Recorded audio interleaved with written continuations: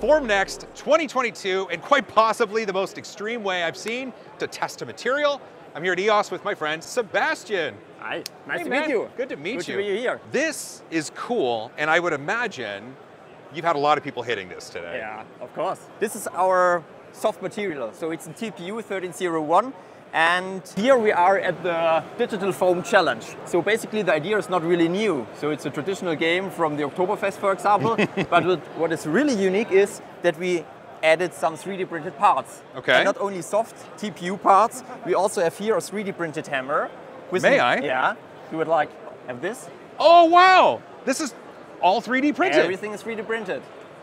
Oh my gosh, it looks great too. This is awesome, huh? So this is a TPU material. This is TPU material, so this is also very soft, so you can see it when you Oh, right here. going there. oh, that is soft. That's nice. Yeah. and also it depends on the design. You can also de- uh, adapt the properties and yeah, also the Okay. material of the application. If you make it softer or harder, then you can adapt the, the thread thickness, for example, or the the unit cell, and so you can adapt the properties. yeah, Well, this is a this is a really interesting application of the of the, the material and the properties Yeah. it has because for this, coming down on this over and over and over again, this material has to be soft in order to absorb the impact, Yeah. but not too soft and not too hard. And so this TPU specifically is built well for this application. Yeah, absolutely. And also talking a little bit about the handles. The handle is also 3D printed. That's a polymer part printed with our P7. So this is the largest printer that we have in polymer. And this was printed in, in one in part? one piece. Also with a nice structure. Um, here for coloring you used airbrush that has a fancy design.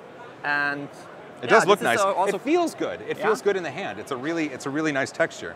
Do you would like to swing the hammer? I, I really would. okay, then Can we do it. this? Yeah, sure. Okay, Are you ready? I'm ready. Okay, then have fun and swing the hammer. So let's see. Oh, it was awesome. Oh. Are you ready for the score list? Yeah, let's Do see you it. think you're on the top three? Uh, no, I don't think so. 88 wasn't. Okay, let's check it. Yeah! Position. Yeah! Good job.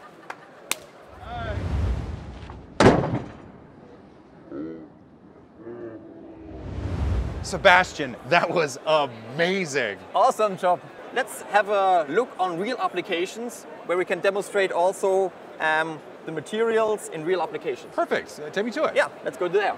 So, are you interested in hockey? Oh, ice hockey. Yeah, absolutely. We have here a cooperation with the company Bauer. And Jan, you tested in the hammer game, the TPU, how soft the material is. Yeah, that's and right. we have here these soft structures oh, individualized in this hockey helmet. may I? Yeah. Thank Really. you.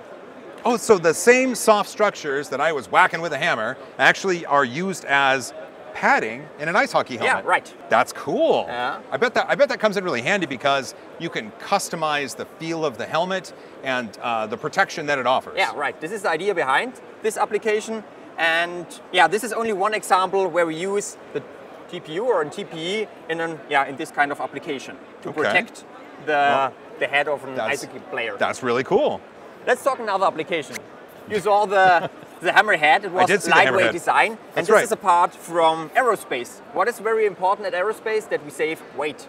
Oh, right, Yeah. absolutely. And if you keep this, it is really weight. Oh, that's wait. Light. That's really light. Like I, I was expecting it to be kind of light. And here you see, here between the two blades, there's a, a structure to save the yeah the weight, also to get a very light part. Ah, so that, that helps with rigidity. yeah right. But it's super lightweight. Yeah. And here we have another material. So it's a great example how big our uh, portfolio in metal metal uh, metal materials we have. So we at the hammer we had an aluminum. This is titanium. That's also the reason Oh. why it's so really light.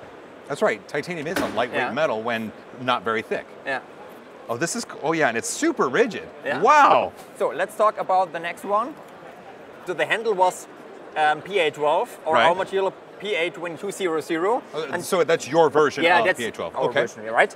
And so we have the connection from this material to real applications are this exciting interior from a car. So It you does can feel see- like a car interior part, yeah, though. right. So this you can see this or feel and see the structure and what is possible. Well, that's really cool. This is a great real world example. I mean, I know building a hammer and a thing I can hit is fun and it's playful, but there are real world applications for the materials that we just right. used. And you thought you can break the hammer or the handle, but it's I, I was would say worried. not impossible, but it's possible, but it's very hard because yeah, yeah, with this kind of examples for interior design, so we have very stiff and yeah, nice looking parts. So normally a part like this, we are talking about someone that might, in the in the old days or uh, traditionally would be injection molded out of a, an ABS material. Yeah. I would guess.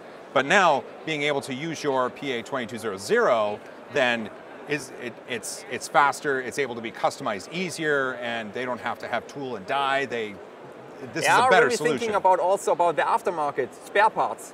oh, So at the end of the life cycle, so then it's a good option to use, yeah, maybe 3D printing to get the parts or to have the parts if something break at the car. I like that. Well, 3D printing is always a great option. Yeah, I mean, sure. Yeah, yeah. Sebastian, this has been a lot of fun. I got to see some really practical uses for the material, although I got to admit, hitting that thing with that 3D printed hammer was probably some of the most fun I've had. People are going to be really interested in this, and they're right there. Could you look at that camera and kind of tell them where to go to find out more information? Yeah, sure. Visit us at our homepage www.eos.info um, or visit our uh, YouTube channel or you can also connect us via Twitter. There's a lot of um, opportunities, so I'm looking forward to have discussions with you about your applications. And yeah, thank you very much for the great chat with This you. was, this was a bunch It of fun, awesome. man. I'll put some links down in the description so you uh, you can just go down there and click. Sebastian, thank you very much. Nice to meet you. Have a good rest of Formnext, man. Thank you.